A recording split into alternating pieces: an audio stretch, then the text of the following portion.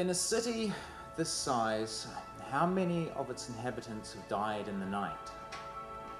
First of all, before anything begins, I'd like to say that I am a totally reliable person who never throws in the towel until it's time. You were forced to lose your purchase as the city rolled to turn upon its shoulder and find a better lie. Les Mills, it starts here. Why are you wearing socks in the gym? She went through double doors to the outside, the compound known as Death Row. Who put her in? Little Tommy Thin. Who pulled her out? Little Johnny Stout. This is the great read off at the end of Once Upon a Deadline, an amazing marathon running eight hours around the city, writing fiction in public. The story they've written had to be conceived, written, and edited in the course of today.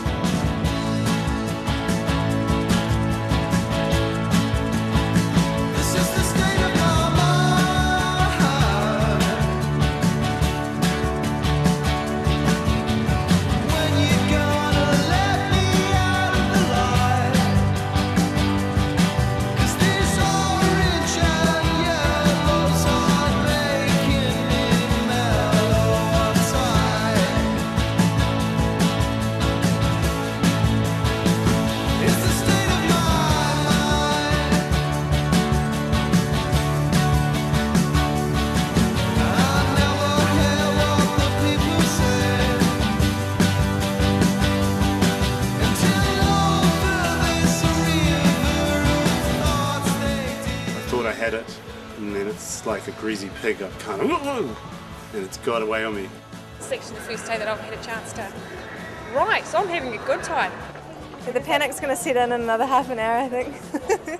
no, it still needs a lot of work, but I've got the end. So yeah, but I do need to tidy it and tidy it and tidy it. That's, that's the process now. Like every single morning when my son eats his porridge, um, he wants us to tell him a story, and he always kind of like gives us a little brief. It's like it's got to have a train in it, and it's got to have space alien in it. It's got quite a strong feel about it, that place, you know, with the animals and the smell and the noise and everything. I'm already 300 words over, and now I've just probably written another 200. So I've got to think about cutting down. Because ordinarily for me this would be the point where I put it in a drawer and come back to it after about a week. But um, hopefully after talking to the editor I'll be able to, I don't know, fix it editors um, are really crucial because they can look at a story which you know might be partially working but there's you know obviously something deeply problematic about it and they can point out another angle that you should perhaps go at it and then suddenly something rather which looks like it needs to go back into the bottom drawer or you know like shredded or you know turned into toilet paper um, can suddenly actually become a really convincing story. The winner of the Judges Prize, and I have the check here, is David Geary.